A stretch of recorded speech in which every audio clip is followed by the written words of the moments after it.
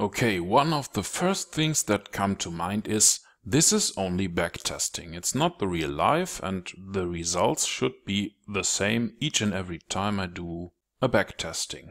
Well, we have traded the Australian dollar against the yen here on a one minute basis and the trading year was 2015 and we traded the overdrive system. For the next try I will disable the visual mode here. That should speed up things significantly. So let's hit the start button. Let's have a look at the results by clicking on the report tab, right mouse, save as report. Let's call this test report 1 and we made a total net profit of 2750 euros. The system made all these trades automatically. Let's do another test. I will start the backtesting again. Let's watch the graph. And this also should only take a minute or so. Okay, the test is finished now. Click on report, save as report. We will call this one test 2.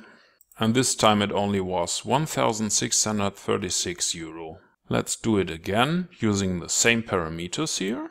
And you should notice that the graph is different now. This green line here is the equity and the blue line is the balance. Once again, click on report, save as report, and it's test report 3.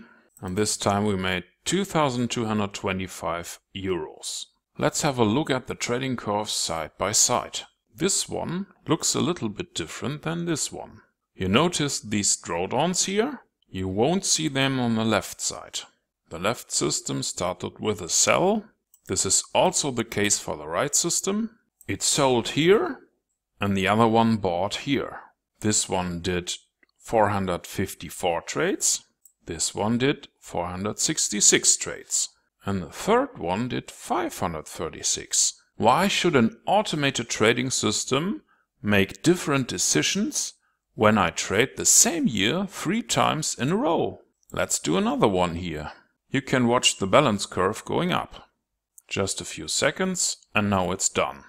Click on the report, right mouse, and I will save it as test report 4.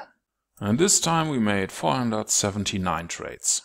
And we made a total net profit of 3622 euro. If you want to know how this system performed in reality, go on to the next video.